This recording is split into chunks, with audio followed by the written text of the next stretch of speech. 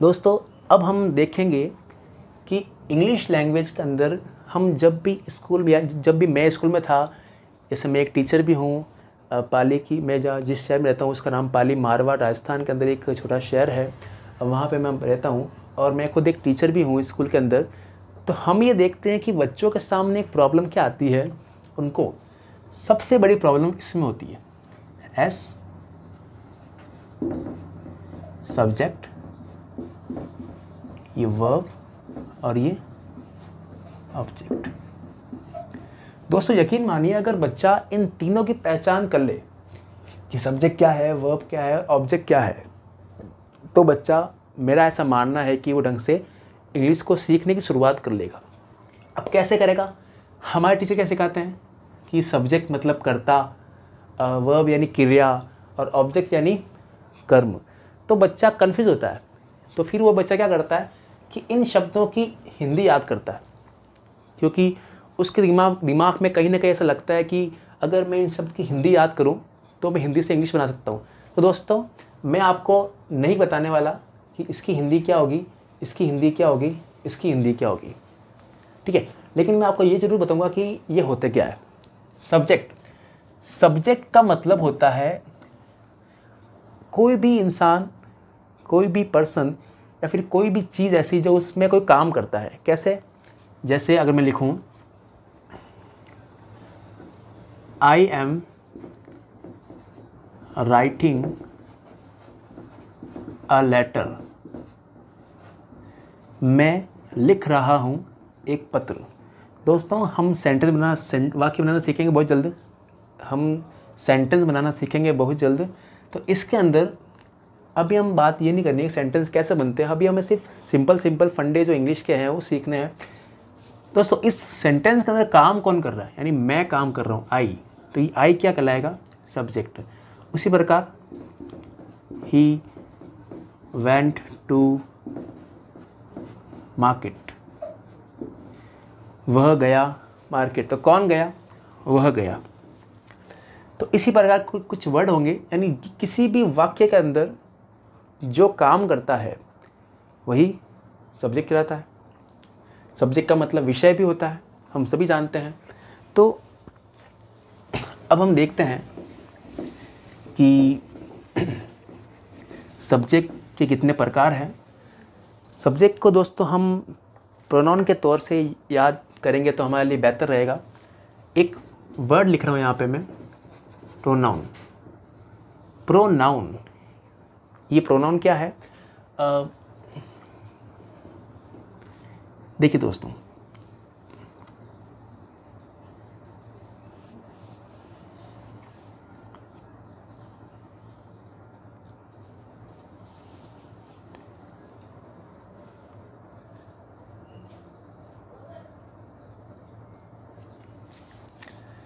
Pronoun क्या होते हैं दोस्तों? कि the words the words which are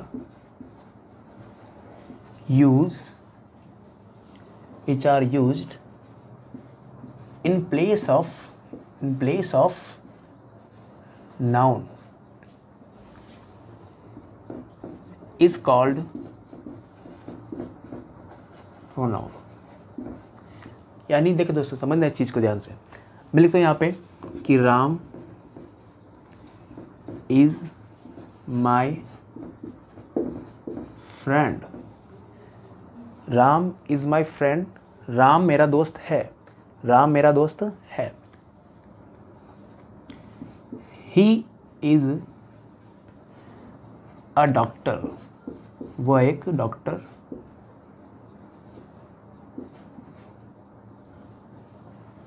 वह एक डॉक्टर है. तो दोस्तों देखना हम यहाँ के कि जो राम मेरा दोस्त है और वह एक डॉक्टर है तो ये वह, यानी ही जो आया, वो वह के लिए आया डिस्कस करेंगे आगे कि ही कब आता है, ठीक है? तो जो ही आया यहाँ पे, किसके लिए आया हुआ है? वो आया राम के लिए। तो राम क्या है? एक नाम है। और जो इसके स्थान पर आया, वो क्या है? प्रोनाउन है। इसको हिंदी में कहते हैं सर्वनाम। और एक वर्ड यहाँ पे और आया होगा नाउन इसको हम हिंदी में कहते हैं संज्ञा. डोंट वरी आपको सुना ये याद नहीं करना है. आपको सिर्फ़ आपकी सहूलियत के हिसाब से मैंने बताया आपको. अब पढ़ते हैं the words which are used ऐसे शब्द जो यूज़ किए जाते हैं in place of in place in place of यानी होता है के स्थान पर. के स्थान पर. In place of noun is called pronoun यानी ऐसे शब्द जो यूज़ करते हैं, संज्ञा के स्थान पर, वो सर्वनाम कहलाते हैं। आपको इंग्लिश में याद करना है। The words which are use in place of noun is called pronoun जब आप याद करेंगे तो स्कूल लेवल के बच्चों में हमेशा टीचर उससे पूछते रहते हैं कि, बेटा, बोल नाउन की डेफिनेशन बोल प्रोनाउन की बोल वर्ब की बोल एग्जेक्टिव की बोल एग्जेक्टिव की बोल बोल। तो बच्चे कन्फ्यूज़ होते हैं कि बोलना क्या है। तो आप ये डायरेक्ट याद कीजिए, आप आराम से बोल पाएँगे। उसके बाद उम्मीद आप समझ गए होंगे ये नाउन है और ये दोस्तों ये क्या है?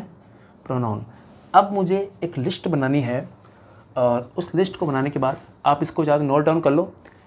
तो दोस्तों, यहाँ पर एक प्रोनाउन की टेबल बना दी है और इस टेबल के अंदर हम ये सीखेंगे कि भी प्रोनाउन सारे क्या होते हैं? यानी सर्वनाम, है ना? और सबको पता है कि ये क्या होते हैं? यानी संज्ञा के स्थान पे काम आने वाले शब्दों को सर्वनाम कहते हैं, हिंदी में परिभाषा ये बनती इसकी। अब दोस्तों, हम अभी तक यही सीख रहे हैं, एस, यानी सब्जेक्ट हमारा क्या है? हम इसकी बात बाद में करेंगे। तो फ़िलहाल हम यहाँ देखते हैं, कुछ वर्ड्स लिखे हुए हमारे सामने इनकी हिंदी हिंदी ट्रांसलेशन उनकी, यानी उनकी, उनका क्या मीन है, वो आगे लिखा हुआ है। लेकिन ऊपर कुछ ये चीज़ें लिखी हुई है ये क्या है, समझते हैं इसको सब्जेक्टिव यानी ये सारे जो वर्ड्स हैं सारे, ये वाले। आई यानी मैं, वी यानी हम यानी तुम, या आप, दे यानी वे, ही यानी वह लड़के के लिए हमेशा, ही यानी he is a he is a boy हालाँकि बॉय बॉय हो तो ही होगा ऑलरेडी तो ही यानी वह शी यानी वह इट यानी यह, और नेम यानी नाम।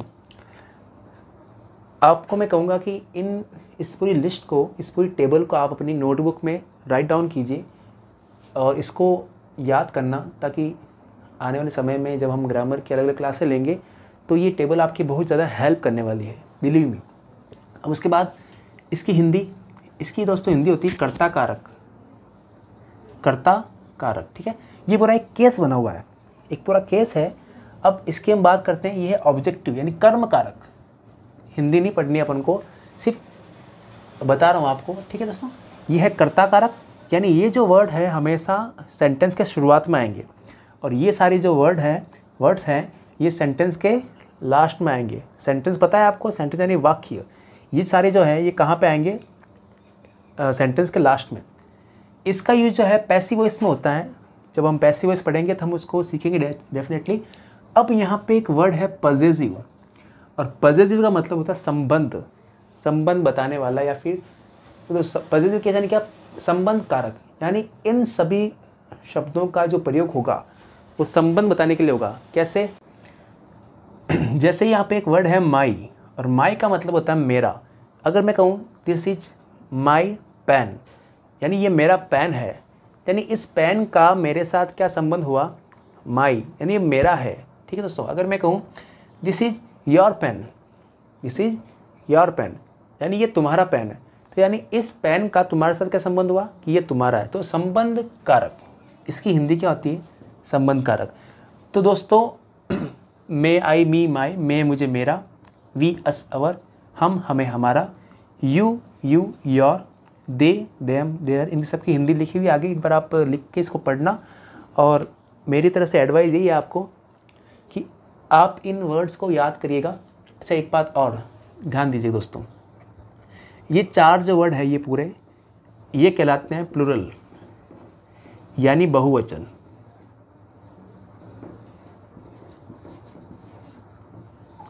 और ये चार जो वर्ड है ये चारों सिंगुलर यानी एक वचन। ठीक है? अब ये क्या चीज़ है? आ, मिलते हैं आपसे अगली वीडियो में। तब तक के लिए दोस्तों आपको एक काम दे रहा हूँ। अगर आप वास्तव में सीखना चाहते हैं तो आप इस पूरी टेबल को अच्छे ढंग से याद कर लें। I me my we us our you you your they them their he him his she her her it it its name name name simple आप एकदम फ्लो में इसको याद करेंगे तो आराम से याद हो पाएगा और इन सभी वर्ड्स की आपको हिंदी भी समझनी है दोस्तों, ठीक है? अब हम मिलते हैं आपसे अपनी अगली वीडियो में। तब तक के लिए गुड बाय